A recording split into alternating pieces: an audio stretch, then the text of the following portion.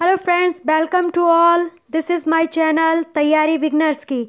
तो C TET की हिंदी के लिए ये वीडियो है, आपने थंबनेल देख लिया होगा तो चलिए स्टार्ट करते हैं आज का फ़र्स्ट क्वेश्चन फ़र्स्ट क्वेश्चन है, उपचारात्मक शिक्षण की सफलता निर्भर निर्भर करती है। तो ए ऑप्शन आपका भाषिक नियमों के ज्ञान पर बी ऑप्शन है समय व अवधि पर सी ऑप्शन है समस्याओं के कारणों को सही पहचान पर और डी ऑप्शन है उपचारात्मक शिक्षण की सामग्री पर। तो वीडियो को पॉज कीजिए और अपने आंसर को टिक कीजिए। तो इसका जो करेक्ट आंसर है वो है, समस्याओं के कारणों को सही पहचान कर। तो उपचारात्मक शिक्षण की सफलता किस पर निर्भर करती है? समस्याओं के कारणों को सही पहचान पर। नेक्स्ट क्वेश्चन है आपका, भाषा शिक्षण में पाठ्य पुस्तक है। तो ए ऑप्शन है एकमात्र संसाधन है। बी ऑप्शन है साध्य है, सी ऑप्शन है साधन है और डी ऑप्शन जो आपका है वो है अनावश्यक है। तो इसका जो करेक्ट आंसर है वो है कि इस, ये साधन है। तो ये साधन है। भाषा शिक्षण में पाठ्य पुस्तक क्या है? साधन है। नेक्स्ट क्वेश्चन है, हिंदी की कक्षा में प्रायः हिंदी तर भाषी बच्चे हिंदी सीखने में अनेक कठिनाइयों का सामना करते हैं, क्योंकि ए ऑप्शन है, वे मन लगाकर हिंदी नहीं सीखते हैं। बी ऑप्शन है, हिंदी सीखने के प्रति उनमें अरुचि होती है। सी ऑप्शन है, हिंदी बहुत कठिन भाषा है। और डी ऑप्शन है, प्रायः हिंदी और उनकी मातृभाषा की संरक्षणा में अंतर होता है। तो इसका जो करेक्ट आंसर है, वो है प्रायः हिंदी और उनकी मातृभाषा की संरचना में अंतर होता है। ठीक है, नेक्स्ट क्वेश्चन है आपका। कहानी सुनाने से ए ऑप्शन है, बच्चे प्रसन्न होते हैं। तो ये ऑप्शन सही भी है थोड़ा सा बी ऑप्शन है, बच्चे कक्षा में एकाग्रचित होकर शांत बैठते हैं। सी ऑप्शन है, बच्चे अनुशासित रहते हैं। और डी ऑप्शन है, बच्चों की कल्पना शक्ति व चिंतन शक्ति का विकास होता है। तो इसका सही बिल्कुल आंसर यही है कि बच्चों में कल्पना शक्ति मतलब उनमें क्रिएटिविटी और किसी भी चीज़ पर विचार करने की क्षमता का विकास होता है। नेक्स्ट क्वेश्चन है आपका। बच्चों के लेखन कौशल का मूल्यांकन करने के लिए कौन सी विधि सबसे बेहतर हो सकती है? तो बच्चों में मूल्यांकन करने के लिए कौन सी विधि बेहतर हो सकती है? ए ऑप्शन है अपने अनुभवों को लिखना, बी ऑप्शन है श्रुति लेख, सी ऑप्शन है पाठ आधारित प्रश्नों के उत्तर लिखना और डी ऑप्शन है सुंदर लेख का अभ्यास। तो इसमें कौन सी आपका जो ऑप्शन है वो कौन सा करेक्ट हो जाएगा? तो इसका जो ऑप्शन करेक्ट होगा, वो होगा अपने अनुभवों को लिखना। बच्चों में लेखन कौशल का मूल्यांकन करने के लिए कौन सी विधि सबसे अच्छी होगी? अपने अनुभवों को लिखना। नेक्स्ट क्वेश्चन है, बोलना कौशल में महत्वपूर्ण है। तो ए ऑप्शन है, संदर्भ एवं स्थिति के अनुसार अपनी बात कह सकना। बी ऑप्शन है, स्पष्ट एवं शुद्ध उच्चारण। सी ऑप्शन है, आलंकारिक भाषा का प्रयोग। और डी ऑप्शन है मधुर वाणी तो इसका सही आंसर जो है, वो है संदर्भ एवं स्थिति के अनुसार अपनी बात कर कर कर सकना या कह सकना। तो कोई भी परिस्थिति होगी, उसके अनुसार बात करना। एक केस स्टडी की तरह बात करना ही सबसे बोलना कौशल हो सकता है। ठीक है नेक्स्ट क्वेश्चन है आपका। एक भाषा शिक्षक के रूप में सबसे बड़ी चुनौती है। तो एक भाषा शिक्षक जो लैंग्वेज टीचर है, उसके लिए सबसे बड़ी चुनौती क्या होगी? तो ए ऑप्शन है आपका बच्चों को भाषा सीखने के महत्व से परिचित कराना और बी ऑप्शन है बच्चों की भाषा को संचार साधनों के प्रभाव से मुक्त रखना। सी ऑप्शन है भाषा संसाधनों का अभाव है और डी ऑप्शन है बहुभाषिक कक्षा में शिक्षण के लिए उच्च उच्च रणनीतियाँ तय करना। तो इसका यही सही आंसर है। बहुभाषिक कक्षा शिक्षण के लिए उचित रणनीतियाँ तय करना एक भाषा शिक्षक के रूप में बड़ी, सबसे बड़ी चुनौती होती है। नेक्स्ट आपका क्वेश्चन है, एक समावेशी कक्षा में कौन सा कथन भाषा शिक्षण के सिद्धांतों के प्रतिकूल है?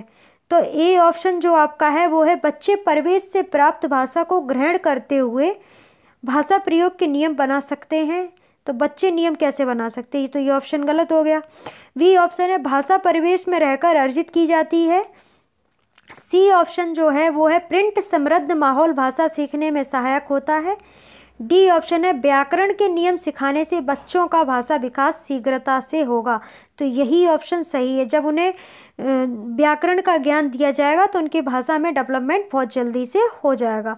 नेक्स्ट क्वेश्चन है एक बहुसांस्कृतिक कक्षा में आप एक भाषा शिक्षक के रूप में किस बात को अधिक महत्व देंगे?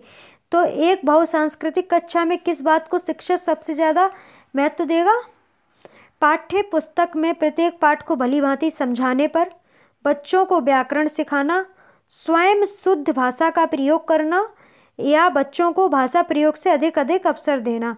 तो बच्चों को भाषा प्रयोग का सबसे अधिक अवसर देना ही एक बहुसांस्कृतिक कक्षा में अच्छे शिक्षक के मतलब जो शिक्षक होगा वो महत्व तो देगा। ठीक है? नेक्स्ट क्वेश्चन है, प्राथमिक स्तर पर कौन सा भाषा शिक्षण का उद्देश्य नहीं है? तो ये जो नहीं वाले क्वेश्चन होते हैं, उन्हें आपको सही से पढ़ना होगा। ठीक है? ए ऑप्शन है, स्पष्टता एवं आत्मविश्वास के साथ अपनी बात कहना। वर्णमाला को क्रम से कंठस्थ रखना। और सी ऑप्शन है, ध्वनि संकेत चिन्ह का संबंध बनाना। और जो डी ऑप्शन है, वो है विभिन्न संदर्भों में भाषा का प्रभावी प्रयोग करना। तो आपको वीडियो पॉज करना है और आराम से अपना सोच विचार करके आंसर करना है। तो इसका जो करेक्ट आंसर है, वो है बी ऑप्शन वर्णमाला को क्रम से कंठस्थ कराना। भाषा शिक्षण का उद्देश्य नहीं है। नेक्स्ट क्वेश्चन है गृह कार्य के बारे में कौन सा कथन उचित है? तो गृह कार्य के बारे में कौन सा कार्य, जो कथन है, उचित है? गृह कार्य अभिभावकों को व्यस्त रखने का उत्तम साधन है। गलत। बच्चों की क्षमताओं स्तर के अनुसार गृह कार्य दिया जाना चाहिए। तो ये अप्रोप्रिएट आंसर है बिल्कुल। ठीक है? नेक्स्ट क्वेश्चन है। भाषा अभिव्यक्तात्मक कौशल है। तो भाषा अभिव्यक्तात्मक कौशल क्या है? बोलना है और लिखना अभिव्यक्त अभिव्यक्त अभिव्यक्त अभिव्यक्तता कौशल है, ठीक है? तो ये तो सभी को पता होगा तो ये बहुत ही ईजी क्वेश्चन था। नेक्स्ट क्वेश्चन जो है आपका वो है, भाषा कौशलों के संदर्भ में कौन सा कथन उचित है? तो विद्यालय में केवल पढ़ना लिखना कौशलों पर ही बल देना चाहिए। बी ऑप्शन है, बच्चे केवल सुनना, बोलना, पढ़ना, लिखना कौशल क्रम से ही सीखते हैं। सी ऑप्शन जो है, भाषा के चारों कौशल परस्पर अंततः संबंधित हैं। तो करेक्ट ऑप्शन जो आपका है, वो सी है। भाषा के जो चारों कौशल होते हैं, बोलना, लिखना, पढ़ना, लिख मतलब बोलना, सुनना, लिखना, पढ़ना, वो परस्तः अंततः संबंधित होते हैं। तो ये बात बिल्कुल करेक्ट है। जो हम बोलेंगे, वो पढ़ भी सकते हैं, लिख भी सकते हैं, सुन भी सकते हैं। ठीक है? नेक्स्ट क्वेश्चन है, पाठ में दिए गए चित्रों का क्या उद्देश्य होता है? तो जो चित्र दिए जाते हैं पाठ में, उनका क्या उद्देश्य होता है? चित्रों से पाठ्य पुस्तक आकर्षक बनती है।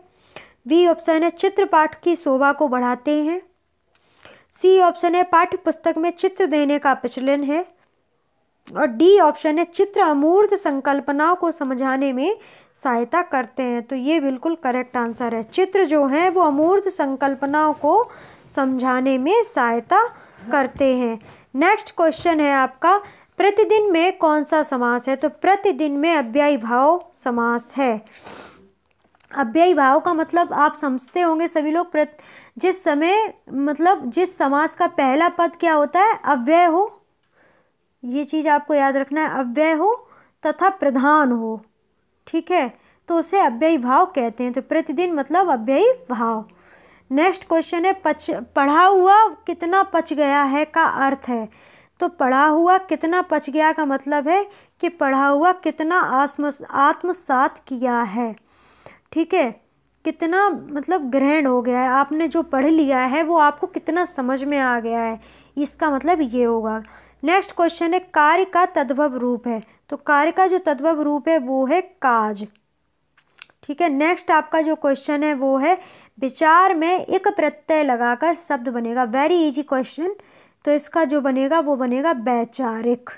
ठीक है? तो ये था आपका हिंदी का वीडियो। अगर आपको अच्छा लगा है तो इसे लाइक कीजिए, शेयर कीजिए, सब्सक्राइब कीजिए वीडियो को और बेल आइकन को भी प्रेस कर लीजिए। Thank you for watching.